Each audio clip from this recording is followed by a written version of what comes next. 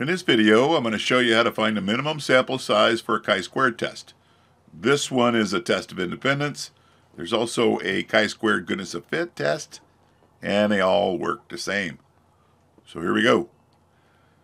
In a nutshell, it's, it's five units per cell. Whatever you're measuring, if it's people or coin tosses or job types, whatever you're looking at, it should be at least five per cell. That is the minimum. That's the rule of thumb.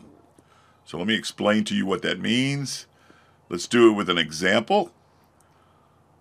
And let's pretend we're going to run a chi-squared test between two nominal variables, categorical variables. One is gender and one is political party. So with gender, we're going to go ahead and list out the levels or the subgroups of gender. And we got female, male, and other. I do not want to start World War III with more than this, okay? So let's just pretend there's three gender levels. And with political party, again, we're just going to pick three, the big ones, uh, Repub Republican, Democrat, and other.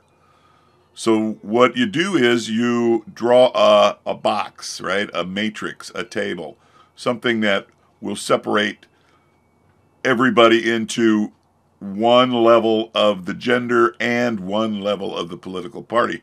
So you'll notice we got this box would be female Republicans, the middle box here would be male Democrats, this would be other others. okay, now, so how many cells you got? These are the cells. You got nine cells. So a minimum sample size of five per cell, and you just put them all in there, and then you add them all up. So that looks like 9 times 5 is 45. So that would be the minimum sample size for this specific problem, right? A minimum sample size of 45. So the rule of thumb is this.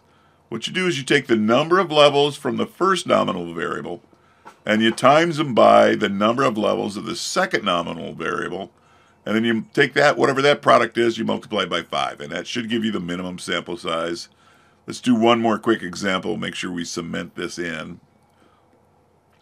So we're doing a chi-square test. Uh, our first variable is type of therapy, and let's pretend it has six levels.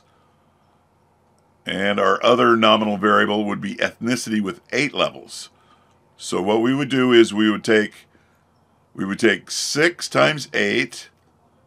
Let me get that up there.